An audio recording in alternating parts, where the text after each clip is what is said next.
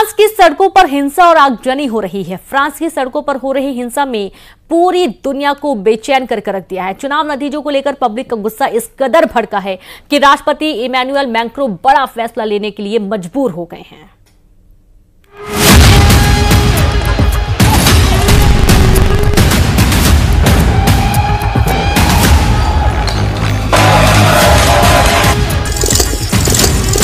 सड़कों पर आगजनी। गुस्से से भड़की हुई पब्लिक। भीड़ को कंट्रोल करने के लिए आँसू गैस के गोले छोड़ती पुलिस। ये हाल है दुनिया के खूबसूरत देशों में से एक, फ्रांस का। और इन तस्वीरों के पीछे है वहाँ की राजनीतिक हालात। जो वहाँ हुए चुनाव के बाद अचानक बदल गए फ्रांस में पब्लिक इतने गुस्से में है कि सड़कों पर उतर कर नारेबाजी करने लगी। लोगों ने हंगामा किया। सड़कों पर हर तरफ़ आगजनी होने लगी। देखते ही देखते हज़ारों लोगों की भीड़ सड़क पर उतर आई। चुनाव नतीजों के बाद कुछ ही देर में फ्रांस की सड़कों पर हर तरफ़ सिर्फ़ शोर ही शोर था। धुआँ ही धुआँ था।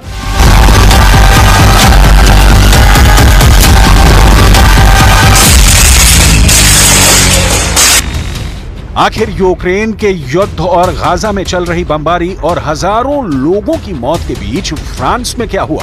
फ्रांस क्यों जलने लगा? फ्रांस, जो यूरोपियन यूनियन का एक बड़ा देश है, वहाँ इस वक्त ज़बरदस्त राजनीतिक हलचल हो रही है। ब्रिटेन की सत्ता बदलने के बाद जनता ने फ्रांस में भी तख्ता पलट कर दिया है। फ्रांस में रविवार को हुए आम चुनाव में राष्ट्रपति इमानुअल मैक्रो की पार्टी हार गई। चुनावी आंकड़ों के मुताबिक कुल 577 सीटों पर मतदान हुआ। इनमें से वामपंथी न्यू पॉपुलर फ्रंट गठबंधन को एक सौ बयासी सीटें मिली। दूसरे नंबर पर इमानुअल मैक्रो की रेनेसा पार्टी रही। रेनेसा सिर्फ़ एक सीटें ही जीत पाई, जबकि दक्षिणपंथी नेशनल रैली गठबंधन को एक सीटें मिली है। तीनों बड़े दलों में से किसी को भी बहुमत हासिल नहीं हुआ है। फ्रांस में बहुमत के लिए दो सौ नवासी सीटें जीतना ज़रूरी है। किसी भी पार्टी के पास बहुमत नहीं है तो ऐसे में फ्रांस में गठबंधन सरकार के अलावा कोई रास्ता नहीं है। नतीजे जैसे ही आए, फ्रांस में हिंसा भड़क उठी। फ्रांस के स्थानीय मीडिया के मुताबिक वामपंथी गठबंधन को ज़्यादा सीटें मिलने की वजह से राजधानी पेरिस समेत पूरे देश में हिंसा भड़क गई। नतीजे आने के बाद प्रदर्शनकारी सड़कों पर उतर आए और हिंसा शुरू कर दी। कई वीडियो में प्रदर्शनकारियों को सड़कों पर आग लगाते और उपद्रव करते हुए देखा गया। हिंसा को देखते हुए देश भर में पुलिस को तैनात कर दिया गया। फॉक्स न्यूज़ की रिपोर्ट बताती है कि हालात गंभीर हैं। प्रदर्शनकारी हिंसा कर रहे झड़पों के बीच कई जगह पर पुलिस ने आँसू गैस का इस्तेमाल किया है।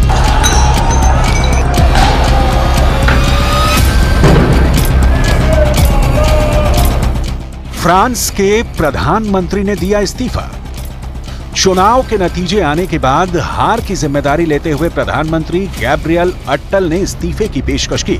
लेकिन गैब्रियल अट्टल तब तक प्रधानमंत्री बने रहेंगे जब तक कोई और फ्रांस का पीएम नहीं बन जाता। ग्रेबियल अट्टल ने कहा कि हमारे पास बहुमत नहीं है।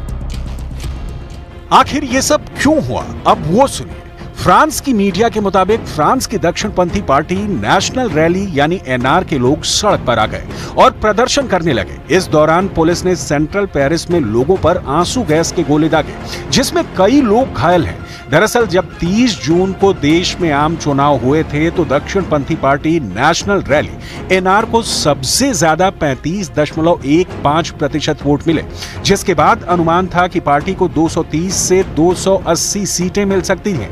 लेकिन जब नतीजे आए तो ठीक इसका उल्टा हो गया। अब एक बार फिर देखिए कि किस पार्टी को कितनी सीट मिली है। फ्रांस के गृह मंत्रालय ने सोमवार को जो आंकड़े जारी किए हैं, उसके मुताबिक कुल 577 सीटों में से एनएफपी यानी वामपंथी न्यू पॉपुलर फ्रंट गठबंधन को एक सौ बयासी सीटें मिली, जबकि दूसरे नंबर पर मैक्रो की पार्टी रेनेसा पार्टी रही। रेनेसा को एक सीटें मिली। दक्षिणपंथी नेशनल रैली एनआर गठबंधन को एक सीटें ही मिली, जिसको कुल पैंतीस प्रतिशत वोट मिले थे। नेशनल असेंबली में बहुमत के लिए किसी भी पार्टी को दो सौ नवासी सीटें जीतना ज़रूरी है। ऐसे में अब किसी भी पार्टी के पास बहुमत नहीं है। वामपंथी गठबंधन में सबसे बड़े समूह का नेतृत्व तो जीन ल्यूक मेलेंशन कर रहे हैं।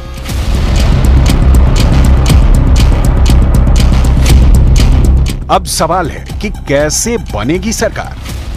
फ्रांस में कई कम्युनिस्ट पार्टियाँ अनबोर्ड एलएफआई सोशलिस्ट ग्रीन्स और कम्युनिस्ट ने मिलकर एक नया अलायंस तैयार किया है न्यू पॉपुलर फ्रंट और यही गठबंधन चुनाव में सबसे ज़्यादा सीटें जीतने में कामयाब रहा। लेकिन अभी भी ये गठबंधन बहुमत के आंकड़े से 107 सीटें दूर है।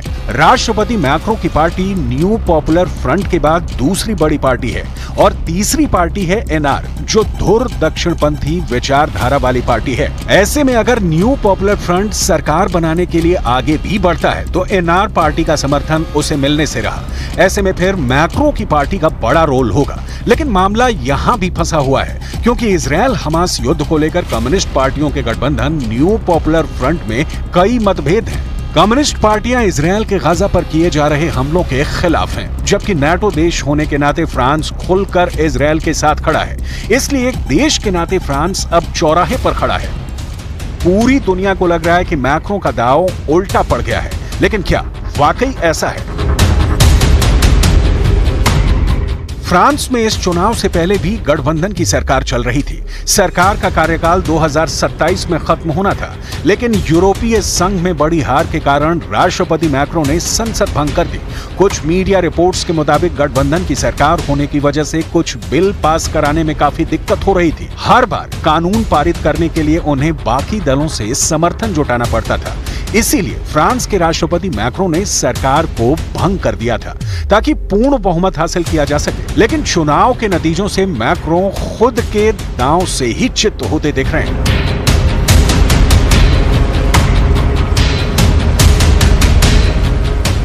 क्या फ्रांस की वामपंथी पार्टियों के बीच भी बंटवारा हो गया है?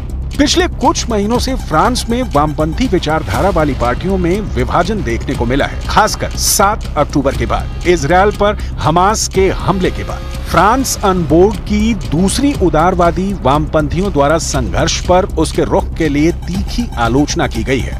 कट्टर वामपंथी नेताओं ने हमास के साथ इसराइल के युद्ध की कड़ी निंदा की है और उस पर फिलिस्तीनियों के खिलाफ नरसंहार करने का आरोप लगाया है। उन पर यहूदी विरोधी होने के आरोप लगे हैं, जिससे उन्होंने साफ़ इनकार किया है।